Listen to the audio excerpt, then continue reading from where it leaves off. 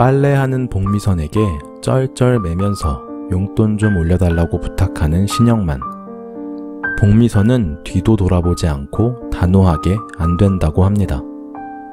신영만은 밖에 나가서 뼈 빠지게 일해서 돈 벌어오는 사람은 나라고 하지만 복미선은 당신 월급은 쥐꼬리만 하면서 쓸 데가 뭐 그리 많냐고 하며 가사노동을 월급으로 치면 당신 월급보다 많을 거라고 하는데 남자의 자존심에 생채기가 난 신영만은 집을 나가버리고 맙니다. 용돈 올려주기 전엔 절대로 집으로 들어가지 않을 거라고 하는 신영만. 근처 공원에서 맥주 한 잔 마시면서 시간을 보내던 신영만은 짱구 일행을 보고 내심 기뻐하며 엄마가 시켜서 왔냐고 묻지만 단호하게 고개를 저으며 그냥 구경 온 거라는 짱구.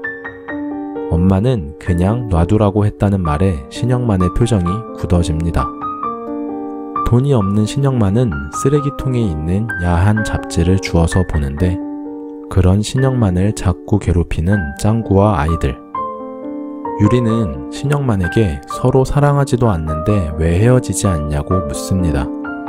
신영만은 잠시 당황하지만 이건 사랑하느냐의 문제가 아니라고 답하면서 남편이 자존심 다 접고 용돈 올려달라고 했을 때 올려주면 좋겠다고 합니다. 아이들은 신영만의 이야기가 재미없는지 집에 가버리고 신영만의 수중에 있는 돈은 고작 몇백 원. 해는 떨어지고 갈 곳 없어진 신영만은 정처 없이 떠돕니다.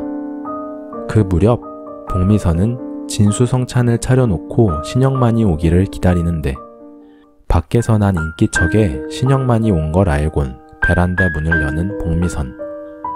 그리곤 용돈을 올려주겠다며 어서 들어와서 저녁 드시라고 합니다.